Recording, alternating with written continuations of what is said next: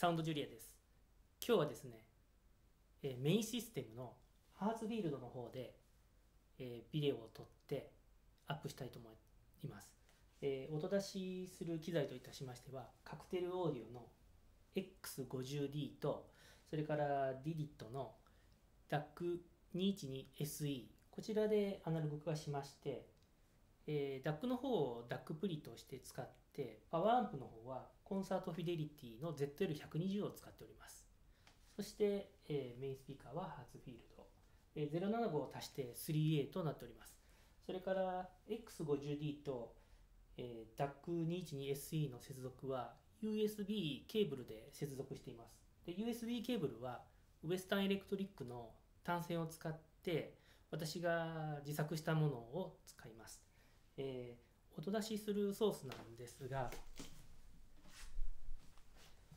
えーステレオサウンドさんから発売されていますリファレンスレコードの、えー菅野さん編集のもので、えー展覧会の絵を、えーかけてみたいと思います。ドカーンときますので面白いです。じゃあちょっと聞いてみましょう。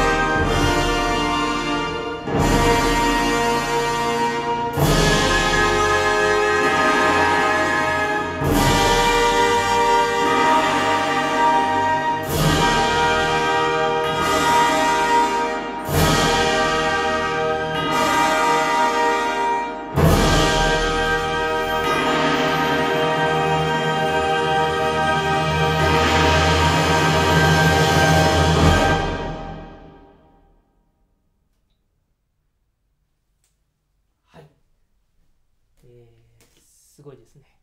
えービデオの方は、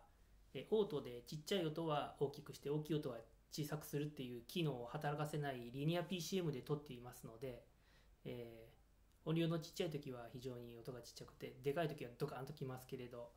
YouTube の場合ですとノート PC とかだとボリュームをいっぱい上げて聞かないとちょっと面白くないかなと思うんですけれど、まあ、空気録音っていうことでなかなか面白いと思います。えーこちらの、えー USB 出力を自作のウエスタンエレクトリックの線で作ったんですけど、まあ、なんかあの表情とか音色とか中低器の腰の入り方なんかが、え市販されているものよりも、え面白い音になるっていうことでちょっとビデオをアップしてみました。今日は以上です。